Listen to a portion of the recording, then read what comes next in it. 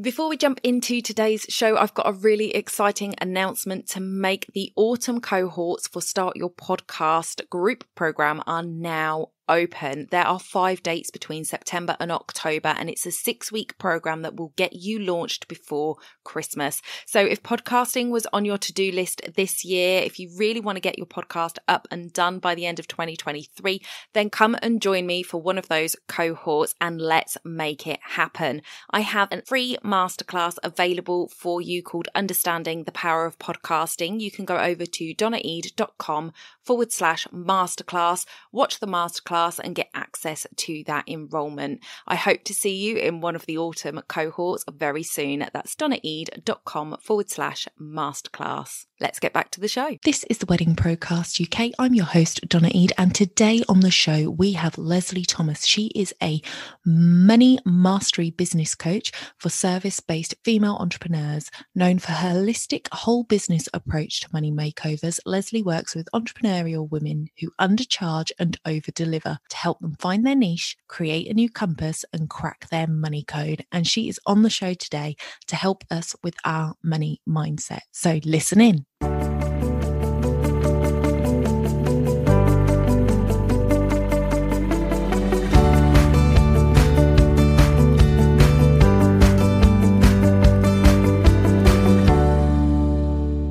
Just before we dive in, I wanted to let you know that this episode was recorded last week.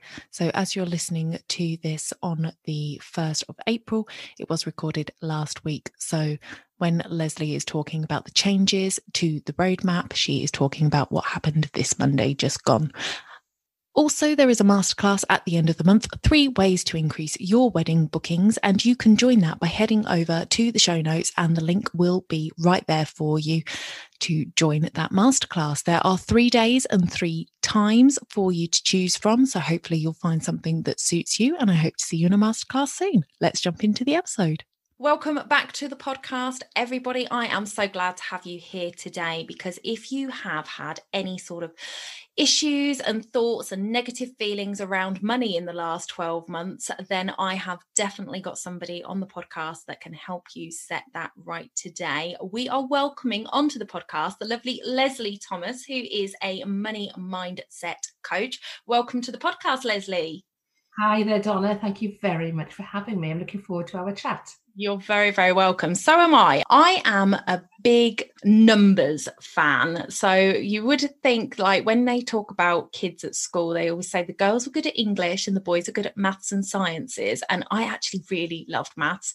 Not to say that I was good at it, but I love playing with numbers. And one of the things in my business that I do a lot of is playing with my figures. What what could i do if this changed? And how many people do i need for this and all of that kind of stuff. I really enjoy playing with numbers. So I like to think that my money mindset is quite good. However, I think there's always room for improvement. So, obviously, you're more than aware of the impact that COVID 19 has had on the wedding industry over the last 12 months. And it's something that is a relatively sensitive topic when we look at money because so many vendors have had to give back deposits things that we would usually have as you know non-refundable and due to the nature of COVID, the government and the powers that be have said that those things need refunding if people are going to cancel their weddings.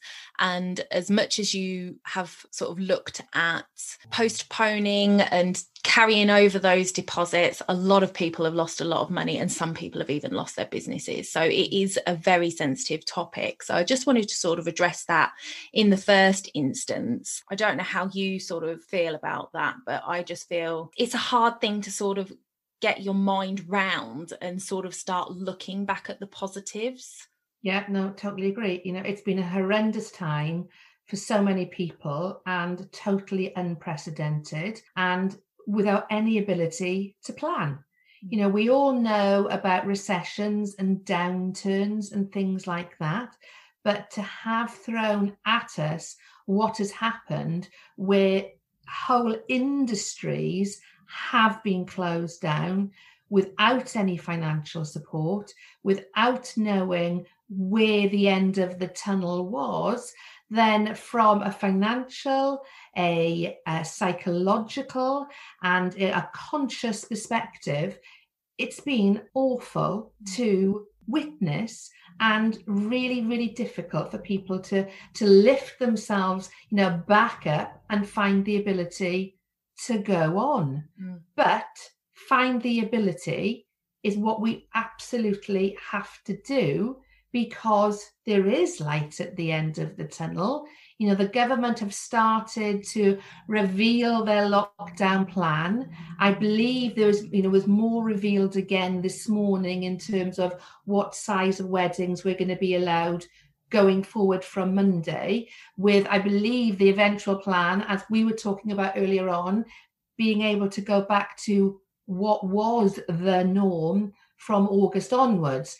And I suppose from a wedding industry perspective, you do plan for the future. You don't deal in the here and now. You do normally deal three, five, 12, 24 months out. So it's a case of, you know, rolling up sleeves and starting to work out what you can do to recoup where you're at. And a lot of the work that I do with clients is absolutely to get them to reflect on where they are, but to put a plan in place of where they want to get to and how they're going to get there. But in order to know where they are, they need to understand where their money mindset has come from because very often the, the ability to be able to plan for the future means you've got to make a change in that mindset. Yeah. And what I mean by that is if you are naturally somebody who finds it very, very hard to be positive about money, uh, to be positive about the ability to make money, then that is going to prevent you from moving forward. If you recognize how you are is how your parents were, then very likely you are able to change that if you so choose to do. And that is the really important part of understanding mindset is actually we do choose to have the mindset that we have. We equally have the choice to change that mindset. And once you understand why you are the way you are, that you're holding on to something that's gone on in your childhood, that is when you're able to say, right, this stops now. I am going to own my money story. I'm not going to own the money story. That was something that belongs in my childhood. Mm, yeah, that's so good. And I feel like yeah, just what you were saying is, you know, something that I've been saying recently, which is wedding as wedding planners, wedding photographers, anybody in the wedding industry, we're always working so far ahead. And that's why we kind of got really blindsided by COVID because it affected the now. And our now is normally it's planned, it's sorted, it's ready to go smoothly because we've already planned it 12 months ago. And so it really hit hard. And now we're in a situation where it, it's hard to to focus on the future because we've been so stuck in the now so i think it's really important that we kind of address that um, as an industry to yeah do what we do best which is work the now you know deal with the postponements that we've got deal with the issues around the government not being clear about the um, roadmap for us and and really messing up again for us in that respect but making sure that we're remembering that we need to be focusing on the future and how we would normally work which is working at those you know years two years in advance. Um, so that's really important. One of the other things that i wanted to talk about as we go into our mind money mindset is that i really want people to sort of protect themselves against using like this becoming part of their money mindset. You know they've lost deposits they've had to give deposits back they've lost revenue over this year and and this could be something that i feel that could really start to seep into their mind as as as part of their money mindset yeah, absolutely. So the first thing is is to understand there's, there's there are two main money mindset that we talk about, which is abundance and scarcity. If you have an abundant mindset, it doesn't mean you have loads of money. What it means is you have the security of knowledge that you have the ability to bring in money, to find a solution to create money as and when it is required. So you don't sit there concerned about spending money, you know, on the basics to enjoy your life because you know you have the ability to create money. Somebody with a scarcity mindset doesn't mean they don't have money. What it means is they're not very comfortable with spending money because they are concerned that they don't know how to replace that money when they spend it. We've all heard of stories, you know, in the press about the little old lady that lived in a rundown house with her cats. It appeared on the outside she had very, very little money because it looked like her lifestyle was suggesting she had very little money. She went on to die, and it was discovered she had millions in the bank, the millions that she left to cat protection. She had a scarcity mindset. She had the mindset that the money was going to disappear, was going to be taken away from her. So she chose to not spend any money whatsoever and was very frugal in her approach to life. So when you understand where your mindset is at, that is when you can start to work on what you need to do to give yourself that abundant mindset. Because an abundant mindset is able to remove themselves from the overwhelm of sitting there worrying.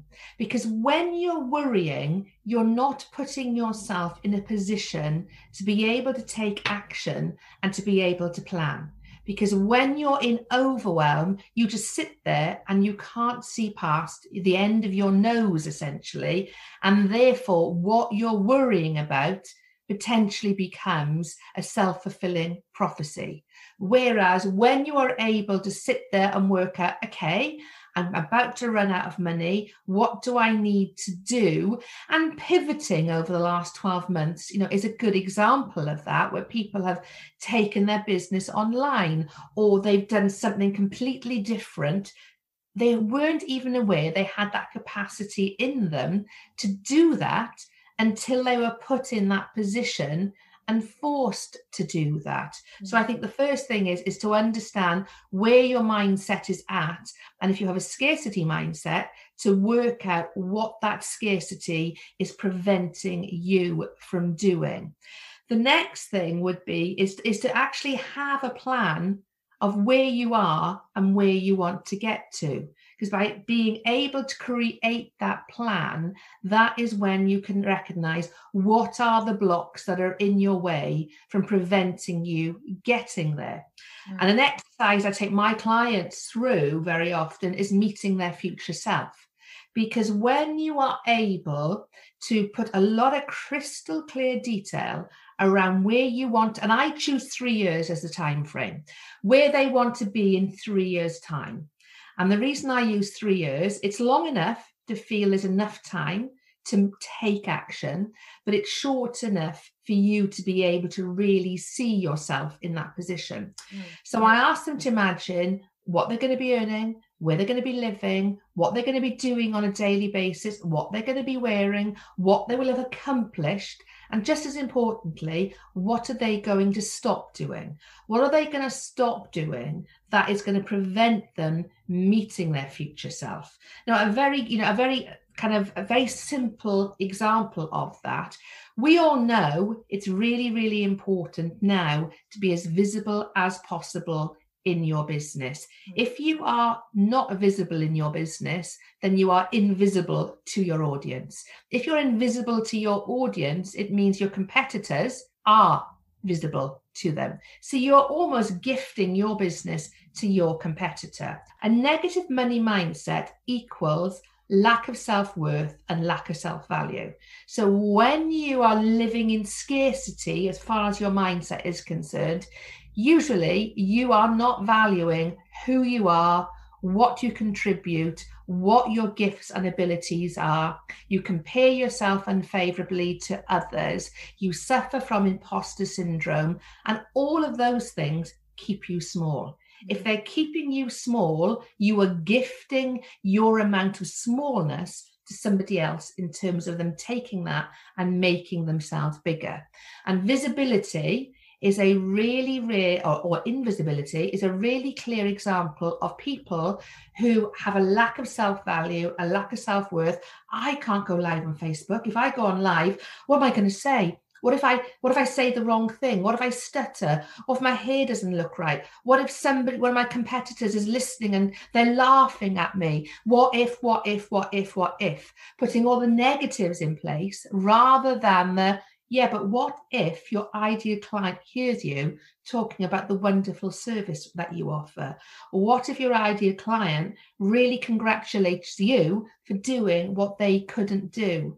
What if your ideal client it absolutely resonates with them at exactly the time they're looking for a cake supplier a photographer etc etc so mm. to focus on the positive rather than what won't happen. Mm. And what you really need to do and again this is why the future self thing works so well is when you start to understand why you are getting in your own way because that is what happens when we have a negative mindset. We absolutely get in our own way. We will blame others around us, but actually, we're proactively saying to ourselves from a subconscious perspective, don't do that because of what might happen.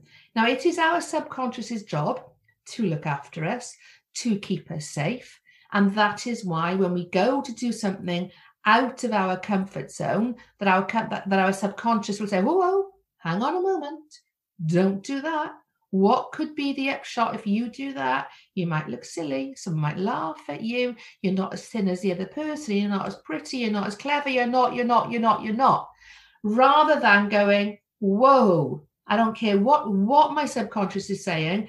I know if I stop myself from being visible in my business, I know the upshot is going to be I'm not going to get any clients. What am I lacking at the moment? Clients. How am I going to get clients? By being visible.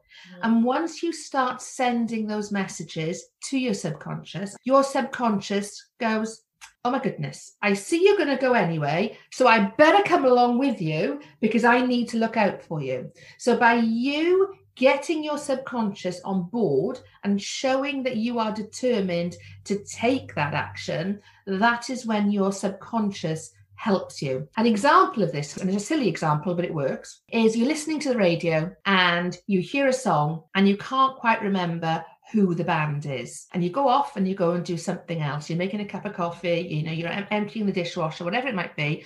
All of a sudden, that the name of that band pings into your head. Mm-hmm. That is because you gave your subconscious that permission to carry on working on it in the background. You didn't say to your subconscious, there's absolutely no way you are going to remember who that band is. I don't know what you're thinking about it. It's a complete and utter waste of time because you're not going to remember. No, no, no. You gave your, your subconscious permission to carry on in the background, and all of a sudden, it pops up. And it's exactly like that with a new situation. It's exactly like that when you need to find the answer to what you're looking to do. Your subconscious will help you find it as long as you are encouraging your subconscious to know you're going to do it anyway. Yeah. And if it's a little bit like, you know, the Nike phrase, you know, just do it. And that is the whole thing with your subconscious get comfortable with being uncomfortable because on the other side of discomfort is the magic. And it really is about getting out of your own way basically. Yeah for sure. I completely get that and that was such a great example because i do that all the time. It's just like with anything it's just like it's on the tip of my tongue. I know the answer to that oh, it's going to bother me. And I go off and I do something else. And then in the most random situation where I'm not even thinking about it, suddenly I go, oh, I remember. So, yeah, I love that kind of visual identity of the subconscious being put yeah. there. So, yeah, that works really, really well. One of the things that I want to talk about is the kind of wording that we use around money, because I think that has so much power, especially talking about the subconscious.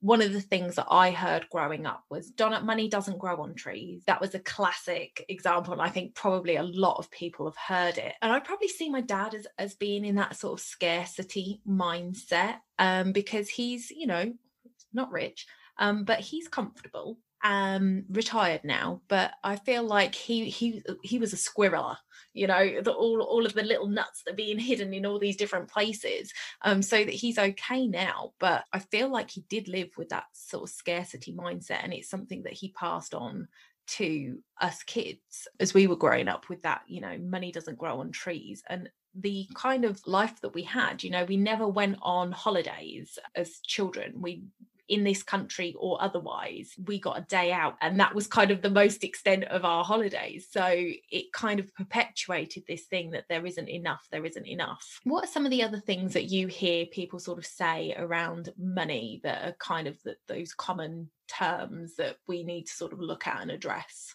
It's you know what what you said there is very true. You know, you you grew up with a dad who said you, you know you wouldn't go on holiday. You know, there, there isn't enough. There isn't enough money. So what we very often happen is we take the guilt actually of we shouldn't be spending money. You spent how much? You know, though that that, that particular thing was how much, and you're made to feel guilty mm. because you want to go and treat yourself to something because you want to go and spend some of your hard earned money on what somebody might call, you know, a frippery.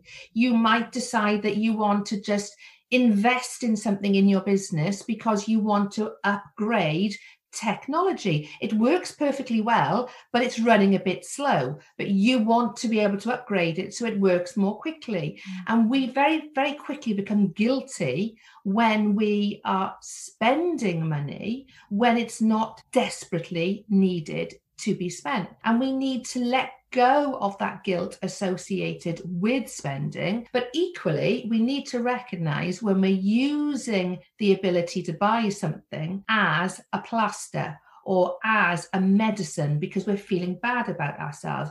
I'm feeling bad about myself, so I'm going to go out, I'm going to buy a pair of shoes. What happens? You get that pair of shoes home, you feel guilty, you spend that money on that pair of shoes, and you either send them back or you hide them in the wardrobe mm. rather than sell. Is that sounding familiar? Maybe a little bit.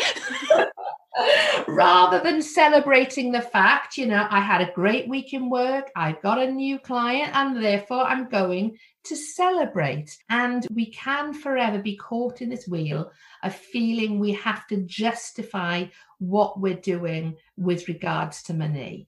You know, there's one there's one thing I particularly hate about certain money mindsets is the need to discount your rates and in particular, oh, mates rates mates rates really, really wind me up because the people that should be supporting us, the people sh- that should be our biggest cheerleaders, are our friends and family. Why are we offering them mates rates? Shouldn't do it. Everybody should value the service that we offer.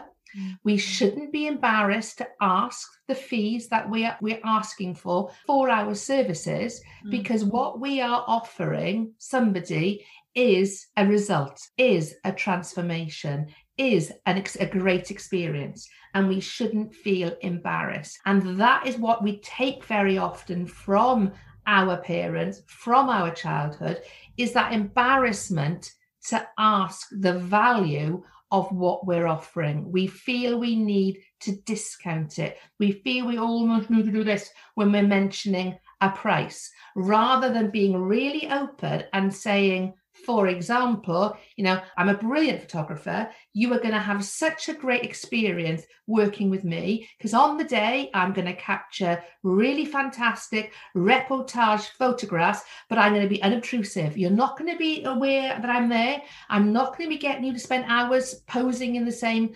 position.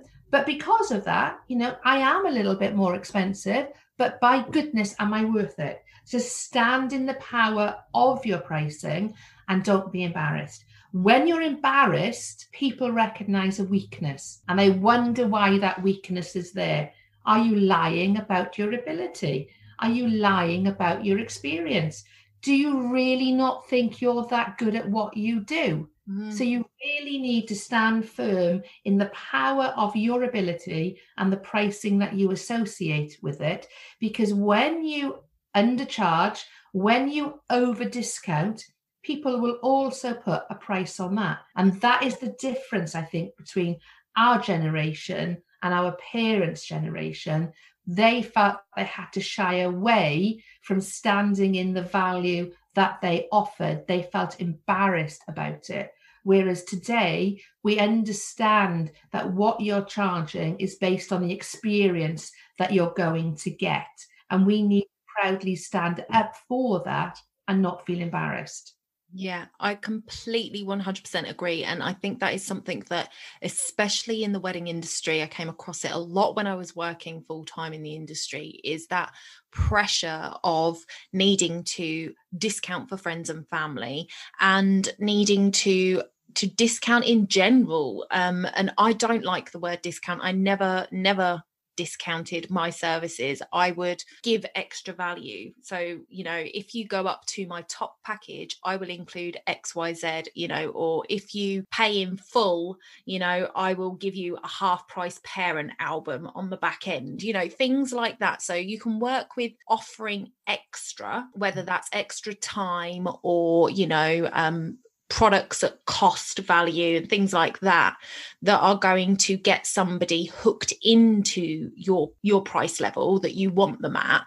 But don't discount because when you see the DFS adverts and things like that it really knocks the value of what you're doing. And the year that we've just had I just feel like there's going to be this kind of this surge of people putting themselves forward for jobs as as new clients come along and they're going to be vying and there's going to be so much competition that it's going to feel like the only way I'm going to be able to get enough bookings is if I offer a discount. And that is like the surefire way to have a race to the bottom and we don't want to do that to the industry. Yeah. so stand firm in your pricing guys and you know if you need to sweeten the pot add something extra give more value give more time give more extra product do something that is offering them more rather than getting them to give you less. Um, absolutely. Um, i think yeah. that's my key takeaway from that. Yeah absolutely. So that is awesome. I'm so glad that you brought that up because it is something that i see as as a big deal in the wedding industry where it is that expectation that if you're friends that you would do it for and for less and uh, i always love it when people turn around and say oh well if, if you do it for me for this price you'll get the exposure and that is something that in the photography space especially people would say that well you know i'll put your photos everywhere and, and you'll get more clients that way and um, it's very hard, I think, sometimes to stand in that place and sort of fight your corner for it. But I, I do feel that one of the things in the industry that that can be difficult to overcome is when you know that you're worth it, but you feel like you you don't want to be explaining it to the nth degree to your clients, but you don't think they're going to understand it. And that's a lot of what I sort of fear that some people will struggle with because a lot of the time I, and i've seen a lot of memes and things adverts and whatnot that go on showing you that yeah it's it's not 300 pound for this photograph it's 300 pound for the four years at college for the this time that i spent doing this for learning this technique for the hours i've spent learning photoshop for this for that and showing yeah. the value of things but we can't go to our clients with that because it seems like we're one trying to justify our pricing but two like giving there's there's too much there. So we kind of expect people to realize that our pricing is based on experience not necessarily the product that they're getting. How could we sort of look to move past that in our minds and, and by selling the experience they're going to get by working with you. And that is the whole thing about when you're selling a service you know you don't go into the detail of you're going to get 250 photographs and i'm going to arrive at nine o'clock in the morning and i'm going to stay with you till the evening reception. You don't go into that level of detail. You go into what it's going to be like working with you what that experience is going to offer them, what it's going to feel like to have you as a photographer, and that sense of excitement, the, the, sense of excitement that you're going to give them about that day, about their day. Well, that is how you know the supplier sells it to to the bride and groom, mm. basically. It's all about the experience you're going to give them, the feeling you're going to give them. Never go down, you know, yes, a little bit later in the conversation, you can go into the nuts and bolts, but actually, what they're looking for is a really, really good photographer who isn't going to be intrusive on their day is going to be able to capture all those little intimate moments that haven't been posed for. Is going to be able to capture the essence of the wedding. So when they look back at it they can go oh my goodness. Can you do you remember how you were feeling when you stood there? And that i think is is what is the difference between being able to generate an excitement in somebody who is prepared to pay versus somebody who's just looking to get you know a few snaps done and they don't they don't see it as anything more than a couple of snaps at their wedding. And and if you want to pitch yourself at that level then do so. But if you want to pitch yourself as somebody who is offering an experience of working with you then that's what you need to sell. You need to sell the experience not the package basically don't don't productize it turn it into the experience that you're going to offer. Yeah i think that's great and actually leads me nicely to let you guys know that the book that i'm currently reading is called sell with a story by paul smith book that i am loving and highly recommend but that is that's focusing on telling a story, telling their story. So, a lot of what he's talking about is to sell through stories. So, you would say, uh, tell a story that's happened to sell your product. But when you're talking about bride and grooms, they don't want to know about somebody else's wedding. They want to know about their wedding. So, if you can start with them telling you their story, and then you can tell the story of how your service would unfold on their day that is going to connect at a much deeper level than saying i offer this this this this and then if you want add-ons you can do add this this this and this you will stand out so much more from telling a story because they will resonate with it and the person that tells the best story that resonates with who they are as people who really listened to their story and know who they are that's the person they're going to book and, and that is exactly it isn't it? Because a bride wants to feel that her wedding is almost the first wedding anybody's ever experienced. It's going to be the best wedding anyone's ever, or at least the most memorable wedding. So if you can get them excited that you are bought into that vision of making it the best wedding that anyone's ever been to, be it, you know, be it the cake, the dress, the marquee, the photographs, whatever it is you're selling, that is when you get your client emotionally engaged. Mm. And that is what you want. You want your client emotionally engaged because once they're emotionally engaged, the rest is pretty much the easy part but yeah. unless you engage that emotion they're not going to they're not going to choose to work with you because somebody else will try to evoke that emotion yeah yeah, I think that might be where I went wrong back when I was a wedding photographer. I, I spent so long trying to trying to give them the information so that they didn't get ripped off by anyone. Like because I would start with I'm not a, I'm not everyone's photographer, you know, because there is a photographer out there for everyone and I want you to be happy with who you choose. And I'd give them a list of all the red flags to look out for when they were interviewing other photographers because I just wanted them to have a lovely day. so any any photographers listening there was a lesson there from Donna in how not to do it. Yeah. yeah. And that was that was a limiting belief in you, basically. Yeah. You were trying to limit the ability of having that fall by almost saying, well, if they don't choose me, it's okay. They're not choosing me because I wasn't the photographer for them. Yeah. Rather than realizing it was your limiting belief that wasn't selling the mm-hmm. experience to them, basically. Yeah. Yeah, yeah, it really, really is. Yeah, there, case study right there. All right, Lesley, let's have a look. Can you tell me, have you got some books that we can look at? I'm a big bookworm. So has, are there any books that you can sort of suggest that we might want to have a look at while we've got this this couple of months where we're going to be a bit slower um, with the weddings anyway? Some books that we could read to sort of address our money mindset and sort of get us thinking about how we could change that. Yeah. Okay. So I didn't put this here for the podcast. It is always here because I'm always looking at it. So Carol Dweck mindset. That one is brilliant. I've read this one two or three times. Uh, Napoleon Hill, Think, Think and Grow Rich. Another brilliant one. One of my favorites I only read back in January was um, Rich Dad, Poor Dad, phenomenal book with regards to how having that abundant mindset versus that scarcity mindset, how a child can grow up differently. And the rich dad wasn't his dad at all; he was his best friend's dad, mm, but he kind of mentor. And and obviously the, the poor dad was his dad and the scarcity mindset. So they would be three really, really good ones. There's another one called The Four Money Mindsets. Can't remember the name of the author. It's on it's on Amazon, but it's called The Four Money Mindset. And it just splits out scarcity and abundant into, into two other mindsets, basically. Mm. But that also is, you know, another good one as well. Awesome, awesome. Well, I will link all of those in the show notes, guys. So if you head over to www.s pwv.co.uk forward slash blog.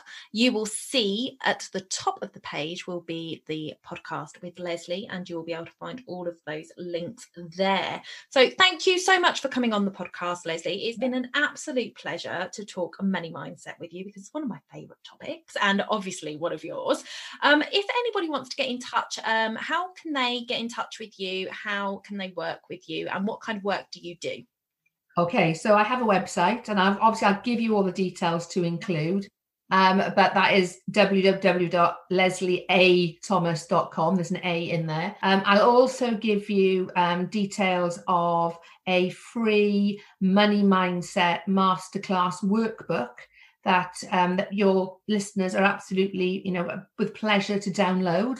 And it's about 27, 28 page, almost journal to work through to help you with some questions to understand where your money mindset is at. On LinkedIn, I'm Lesley Thomas. And on social media, I'm the Money Mastery Business Coach, because that's my official title, the Money Mastery Business Coach. But I'll give you all those details so that you can then share them with your listeners. Yeah, I will pop those in the show notes for you as well, guys. So please do head over and give Lesley a follow on social media. She spends a lot of time on Clubhouse as well. So you can go over and find her on there if you are a Clubhouse aficionado. Um, and yeah, we will see you next week. Thank you so much for coming on the show, Lesley. It's been an absolute pleasure. Thank you, Donna. Thanks for having me. All right, guys. Bye for now.